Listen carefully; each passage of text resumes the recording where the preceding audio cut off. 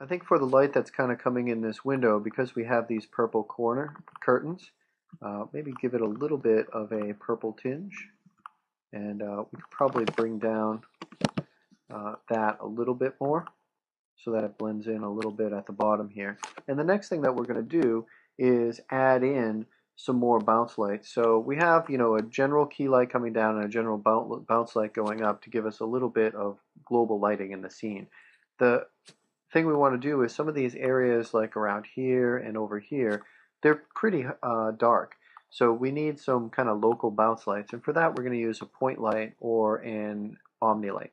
So let's just go and create a couple omni lights. Just click on omni and this one here we're going to put right about there. Just move that into place. So this wants to be on this side of the room. And you can see it in the viewport kind of lighting up. Maybe bring it up and just take a look at where that is in the perspective view here. So there it is over there. Maybe we want to bring that forward so it catches the corner here and take a look at what we have. This again is really brightening up the scene, but you can see that it's doing a good job around here. Now, there's a couple of things that you want to do with these, and one of them is to adjust the attenuation on it. So when I go over here to intensity, color, and attenuation, we want to set a near and far uh, attenuation, or actually we could just use the far in this case. And that's just going to let the intensity of our light fall off as it gets further away. So we don't really need the, um, you know, it to be very intense when it goes and hits the walls and everything like that. So we'll just render that out and you can see that we have a good amount of light here but it's not really blazing all the way back on the back wall. We can probably increase um, both the strength as well as uh, the far attenuation. So we can bring that out like so and have it encompass a little bit more of the bed there.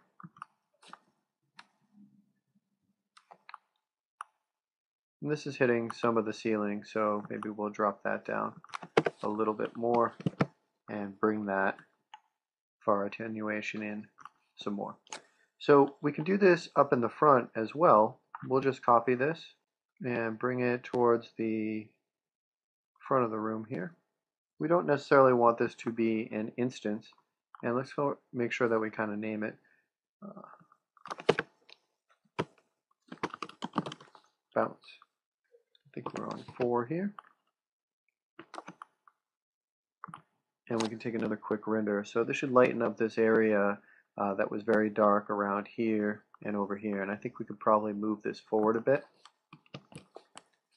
So we'll just go into the perspective view and kind of move that forward and over there some.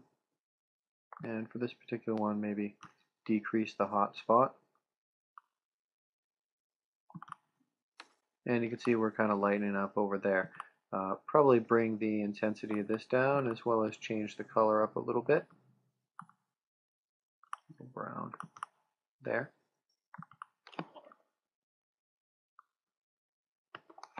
And you can see that, you know, this shadow here has been diffused a lot and right around there as well as this area. And we probably need to do something similar for this area here, back there, and in a few other places in the scene to just kind of tune these bounce lights. Once you do that, you can start to really build a uh, fairly nice illumination setup for your scene. Let's just go and uh, open up a scene. We're going to open the end scene here.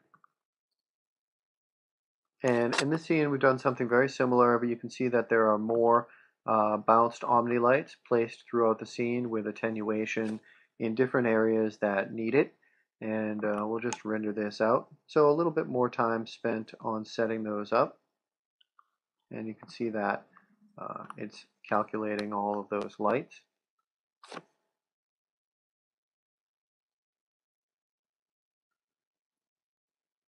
And when we render it out, you can see that this area back here, as well as back there, has gotten some bounce light and diffused those harsh shadows, and we have a nice lighting setup in the scene.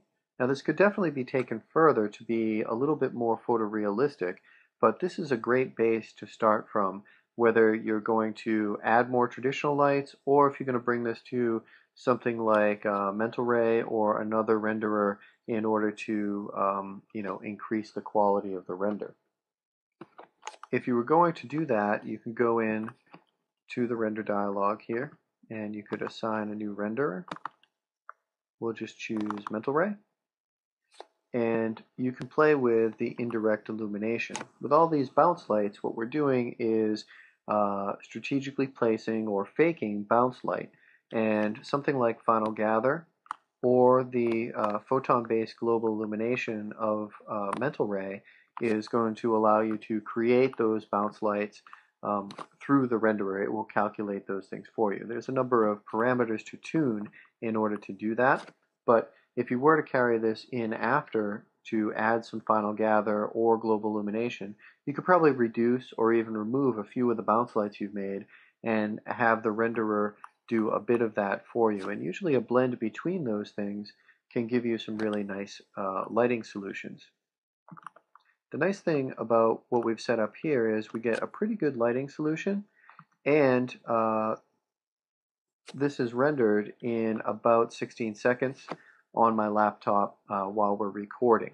So um, that's really a nice situation as far as speed goes. And you really need to think, you know, is this a frame that I can spend an hour or two just to render the single frame where I want to take it into more advanced global illumination situations?